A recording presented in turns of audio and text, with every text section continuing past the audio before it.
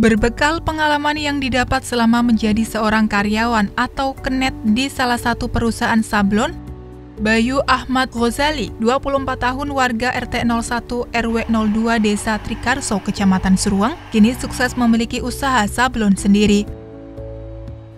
Di tempat usahanya yang bernama Odette Clothing Production ini, bisnis jasa penyablonannya berkembang pesat.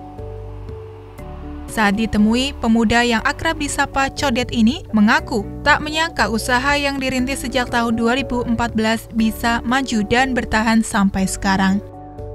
Meski begitu, Bayu mengatakan usaha yang dijalankannya tidak serta-merta berjalan mulus. Di awal mulai usahanya, dirinya hanya memproduksi sekitar satu lusin sablonan per harinya, atau sesuai dengan jumlah pesanan yang didapat.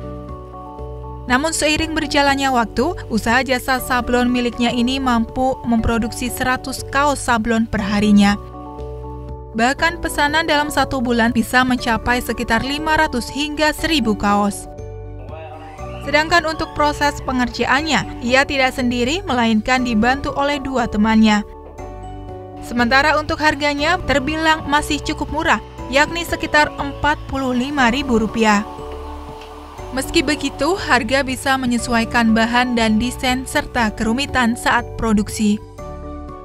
Bayu menjelaskan biasanya menjelang tahun baru dan Idul Fitri, dirinya menerima banyak pesanan. Namun adanya pandemi virus corona, pesanan turun hingga 50%.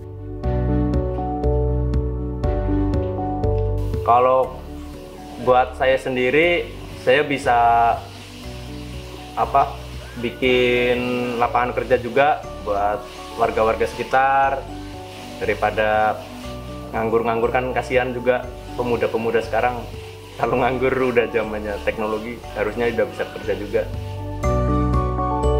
Dari Desa Trikarso, Kecamatan Seruang, Tim Liputan Ratih TV memberitakan.